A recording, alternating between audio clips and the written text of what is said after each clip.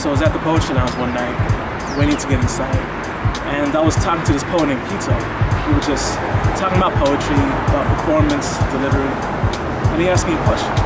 He asked me, uh, what is my one favorite line that I have ever written and why?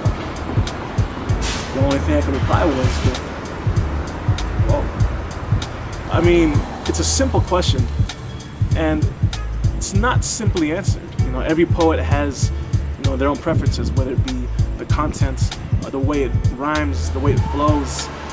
So I took this question and I shared it with other people in the line with me and it caught like wildfire. So many people were interested by this question because it boils down your favorite elements of poetry into one line. It's a hard thing to do.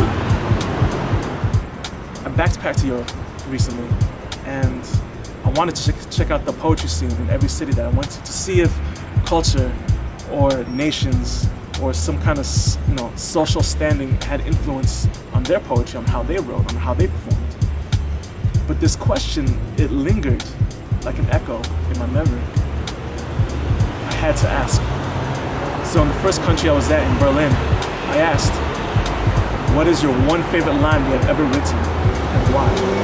And the response, part, was, whoa, this series is about finding out what other poets think about how they feel about poetry, uh, what they feel about delivery, the content, the language, and what their favorite line that they have ever written, why. One poet, one line.